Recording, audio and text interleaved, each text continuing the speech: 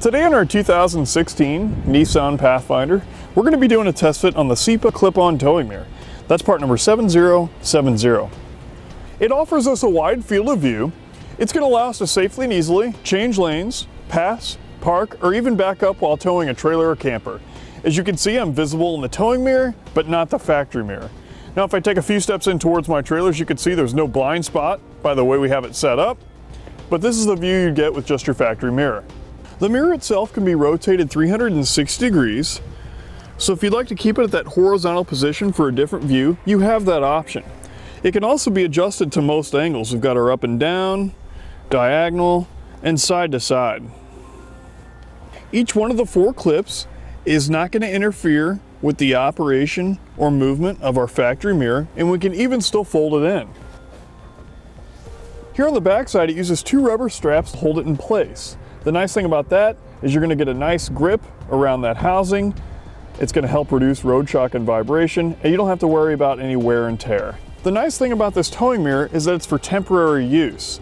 So if you're doing light duty towing or you're not towing all the time, you can simply just put it on and it comes off easy too. It's also universal, so if you have any other trucks or SUVs in the family, it'll probably work for those too. It comes in a quantity of one, so if you'd like to pick one up for the passenger side, just use the same part number. Now I'll show you how easy it is to get installed.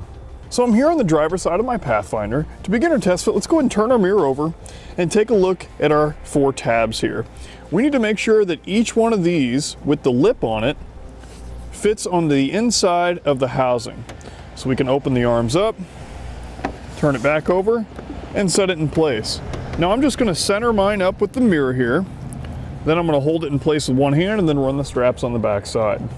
Now when we run our straps, we wanna make sure there's a little bit of tension on them already that when we clip it in place, it holds the mirror in place. So I'm just gonna raise it up, clip it on that top hook, just like that.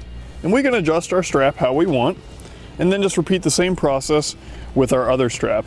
Now if we want to tighten it or loosen it, we can just guide the strap up through and then pull it down through the other side. That looks pretty good. Stretch it up over and clip it just the same. And that's it, we're ready to tow. It's that easy. And that's gonna complete our test fit on the CIPA clip-on towing mirror, part number 7070 on our 2016 Nissan Pathfinder. Click the link below to shop, learn more, or visit us at eTrailer.com.